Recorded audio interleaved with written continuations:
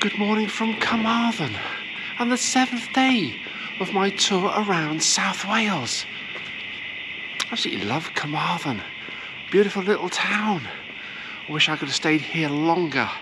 That was my original plan, was to spend an extra couple of days in, in the Carmarthen area and visit St David's. But with the uncertainty over local transport on the bus and more importantly the weather, I decided to have a, an extra day in Cardiff and uh, perhaps do St David's another time. But the original plan was now to head east towards Caerphilly and Chepstow and back to London via Bristol. But I've decided to go up to Aberystwyth, spend a couple of days there and then head back to London through Shrewsbury and Birmingham. This gives me a nice little stepping stone for a series around North Wales, starting or ending in Aberystwyth. But to get to Aberystwyth, I have to take the bus. So uh, head down to the bus station and find my bus to Aberystwyth.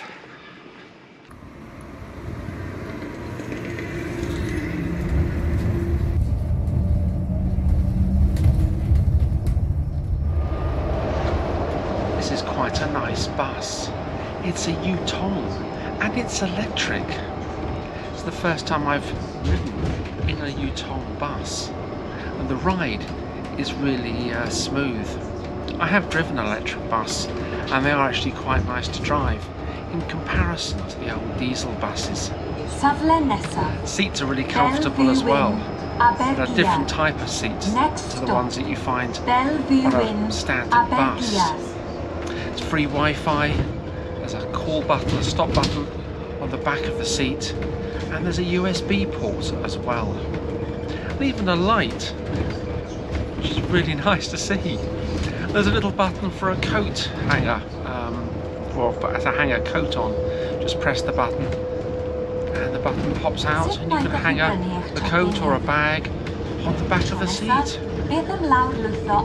Got the announcements i in one ear. I We're in Welsh first, and then in English. I'm wondering how many people on the bus actually understand the Welsh.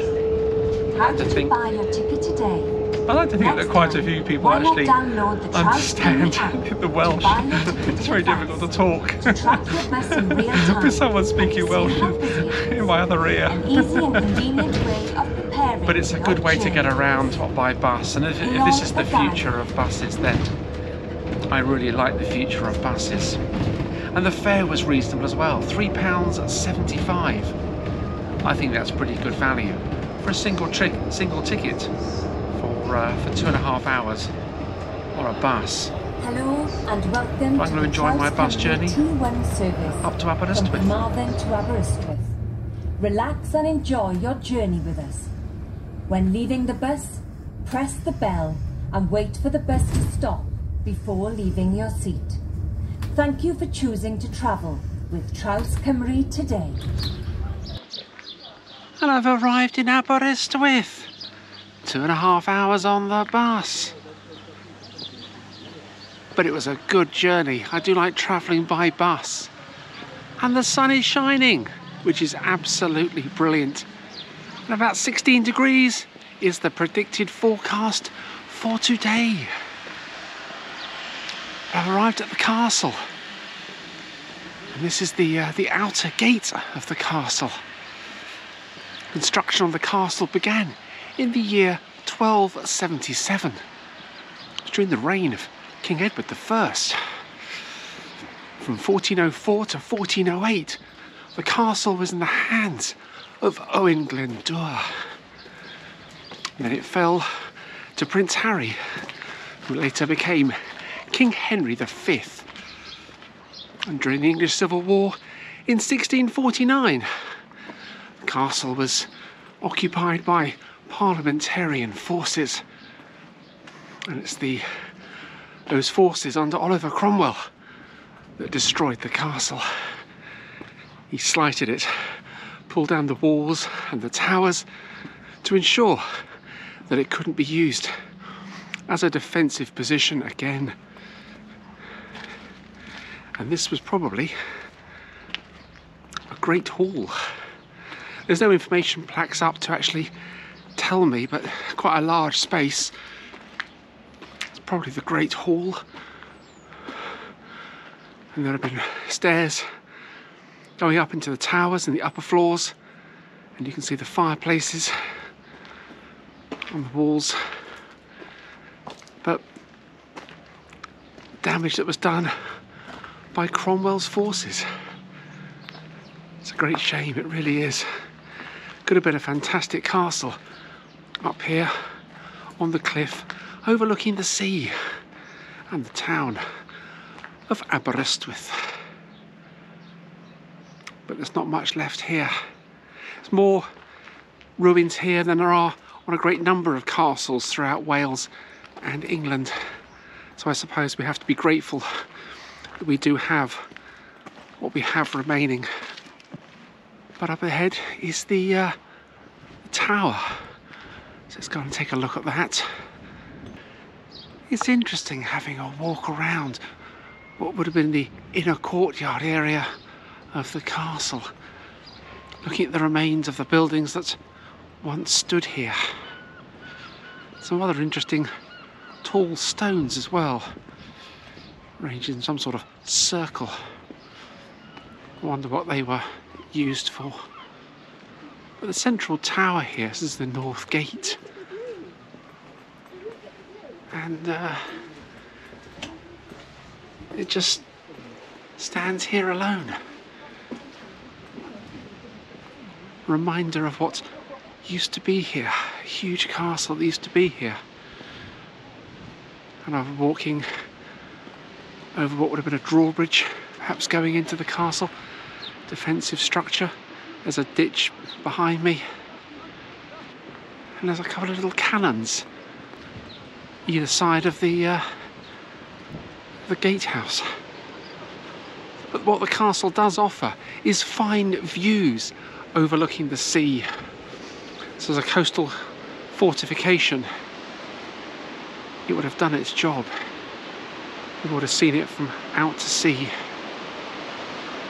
Today, this gatehouse looks over the War Memorial, which was unveiled on the 14th of September 1923.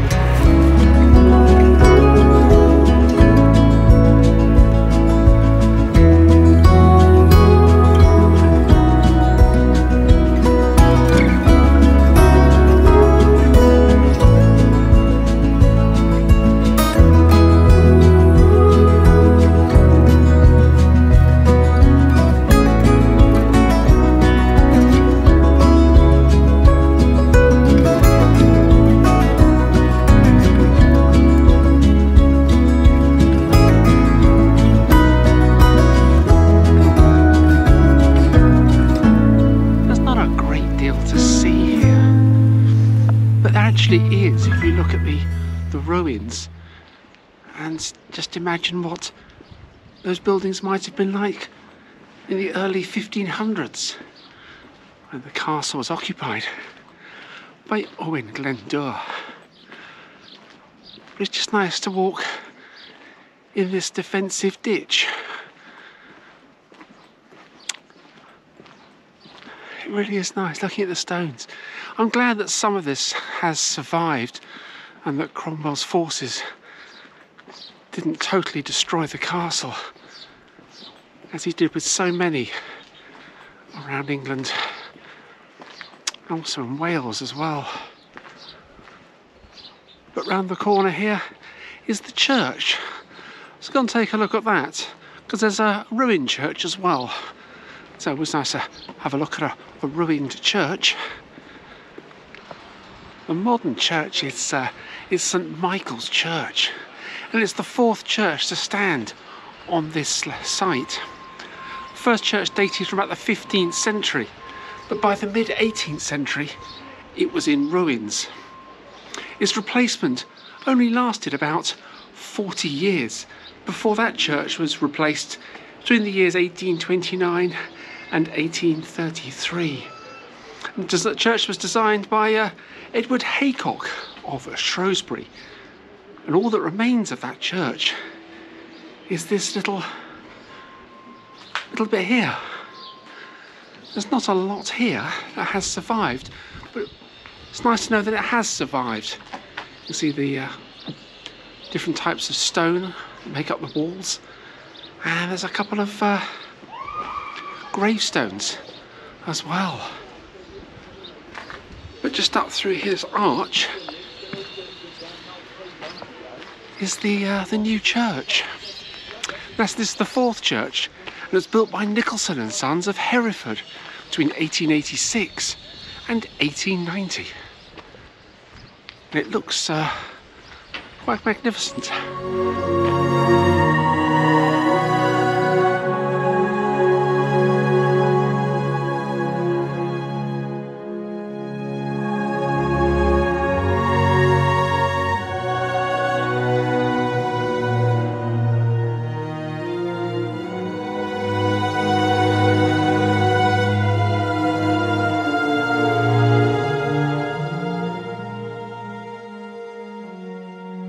Let's head on down to the pier and see what we can discover down there.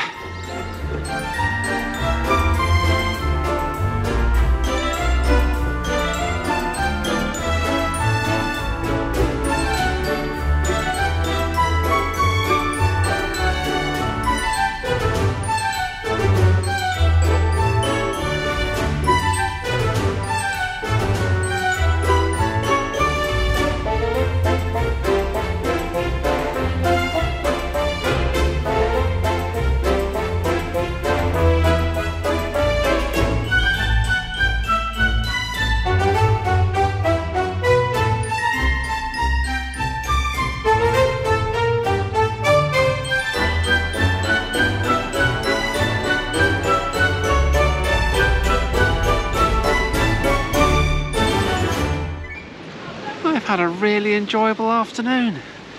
Just walking through the castle, having a look at the church and the ruined church, and I've been onto the pier as well. Pier opened on Good Friday 1865. the pier was originally 794 feet or 242 metres long. But in January of 1866, a huge storm took the last 98 feet or 30 metres off of the pier. The storm caused a lot of destruction in the, uh, the town centre as well. It's interesting that on the first day the pier opened, it attracted 7,000 paying visitors. Today it's free to go on. There's amusement arcade and um, get ice creams and chips. which is nice, which is nice. But this is where I'm going to end the video. Tomorrow, I'm spending my last day here in Wales, in Aberystwyth, and I'm going to ride the funicular railway. So I'm really looking forward to that tomorrow. So don't forget to hit that subscribe button and follow my journey. And we'll see you tomorrow for my last day here in Aberystwyth. Thanks for watching.